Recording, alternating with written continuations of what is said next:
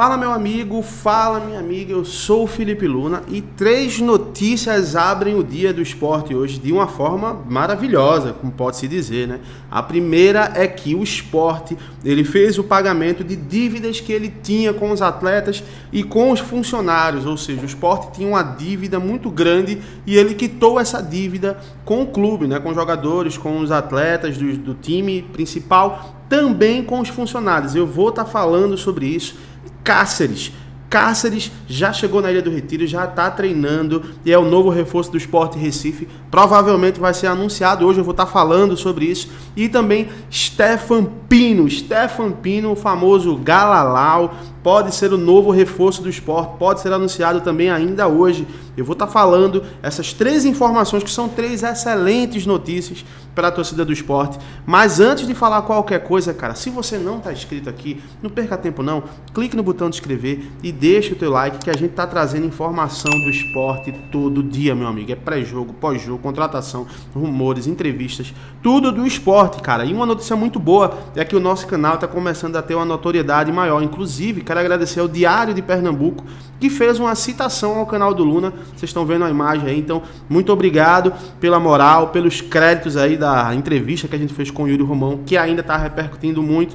Então vamos falar agora das notícias do Esporte Recife.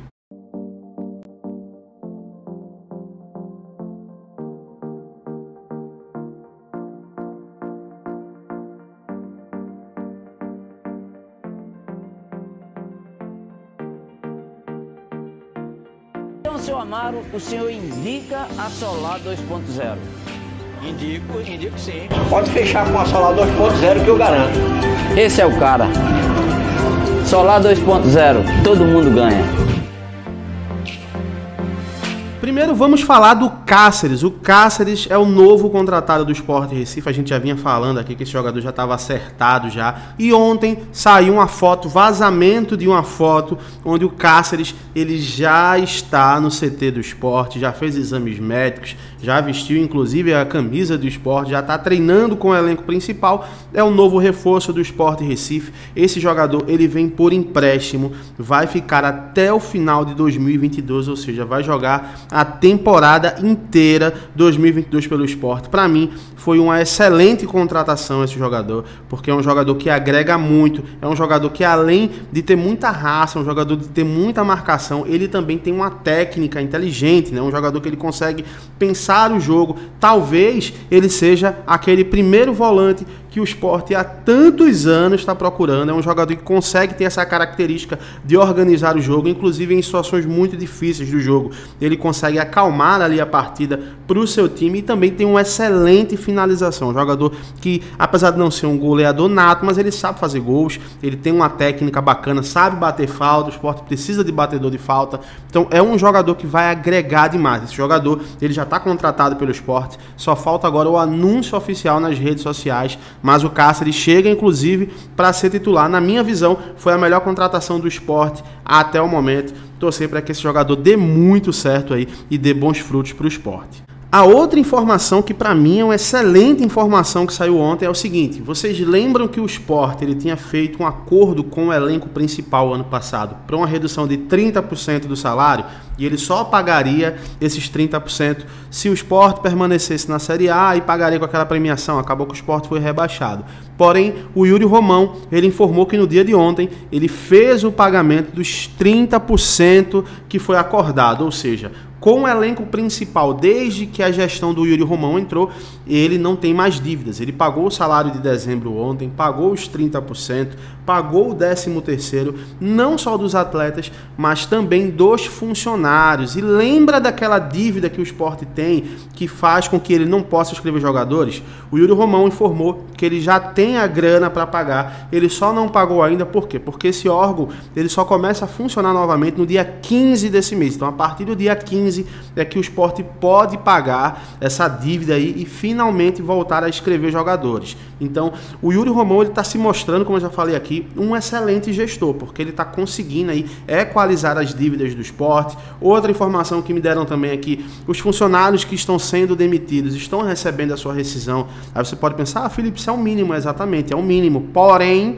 não vinha sendo feito há muitos anos. Geralmente os funcionários eram demitidos e aí tinham que ir para a justiça buscar os seus direitos. Mas o Yuri Romão, com a sua gestão, está pagando todo mundo. Ou seja, nesse momento, o esporte ele está em dia com os seus compromissos com os atletas e com os funcionários. E tenha certeza, isso faz uma diferença gigantesca para que o esporte inicie uma temporada com o pé direito.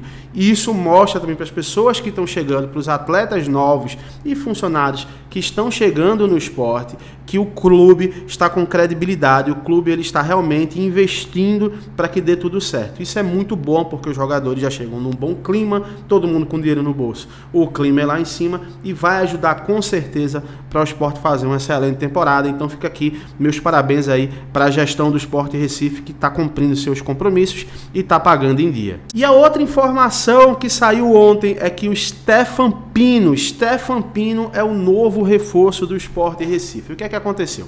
Stefan Pino, ele é um chileno de 27 anos, 1,99m, ou seja, é o famoso Galalau, é um jogador que consegue fazer muitos gols né, de cabeça, ou seja, é um jogador que realmente ali na pequena área, se sobrar para ele de cabeça, não tem como competir, o cara vai lá e decide. Saiu essa informação ontem de que o Stefan Pino estava sendo contratado pelo esporte. Logo em seguida, o presidente Yuri Romão informou aos repórteres, alguns repórteres que entraram em contato com ele, de que esse jogador não vinha para o esporte, ele não estava sendo negociado, ele tinha sido até colocado na mesa lá como um dos nomes para ser investido, só que o esporte não ia fazer essa contratação. Só que algo estranho aconteceu. Várias pessoas entraram em contato com o Stefan Pino pelo Instagram, vários torcedores do esporte, eu também entrei em contato com ele, e ele me respondeu que ele não negou. Ele falou que é o empresário dele que estava definindo isso, mas que ele estava aguardando as informações. Então, se ele não tivesse sido contratado, ele ia negar naquele momento, né? Só que aí logo depois, o Vinícius Calado, repórter da CBN, ele trouxe as seguintes informações para a gente, confirmando que de fato esse jogador está chegando. Leiam comigo aqui na íntegra o que o Vinícius Calado ele falou. Depois da confirmação né, de antecipação do repórter Matheus, as negociações do esporte com o centroavante Stefan Pino conseguia apurar. Valor pago ao Santiago Morning, que é o time onde ele faz parte, pelo empréstimo já está acordado, ou seja, o esporte já acordou o pagamento do empréstimo do jogador. Não é um jogador que vem de graça. Salário do atleta também já foi fechado. Jorge Andrade está à frente das negociações. Jorge Andrade, ele é o executivo de futebol do esporte. Aí continua. A expectativa é de que o negócio se concretize e Pino chegue a Recife até a próxima sexta-feira. Florentin analisou o material do atacante e aprovou. Pino tem 1,99, já balançou as redes contra o Florentin, já jogou contra o Gustavo Florentin. O gol foi no empate entre o Conception e o Achupato, né, por 1 a 1 em 2019. Ou seja, é um jogador aí que o Florentin conhece, é um jogador que foi aprovado pelo Gustavo Florentin e é um jogador que vem para fazer sombra para o Mikael, com certeza. É um jogador que vem ali para disputar a vaga com o Mikael e o esporte de fato está precisando de um centroavante ali, no mínimo para ser reserva do Mikael, porque o esporte hoje ele não tem um centroavante. O Tredes ele foi devolvido, né? Ou seja, o contrato dele finalizou com o São Paulo, está livre no mercado, então o esporte ele não tem mais um centroavante ali para fazer frente pro Mikael. Eu vou torcer para que esse negócio de fato se concretize, pelo que o Vinícius Calado falou. E ele tem muita credibilidade. O negócio já está adiantado, é o novo jogador do esporte, vem por empréstimo. Torcer para que ele dê certo, né? E mais um gringo, né? Agora, provavelmente o esporte vai fechar a cota de gringos que ele tem ali para contratar e agora ele vai focar realmente na temporada. Torcer para que esse jogador dê certo, torcer para que ele faça muitos gols e ajude o esporte na temporada 2022, tá bom? E cara, assim que tiver uma nova informação, eu volto trazendo tudo na íntegra para vocês, tá bom? Deixa aqui o teu comentário se você gostou da contratação do Stefan Pino. Um abraço para todo mundo, até a próxima. Tchau, tchau.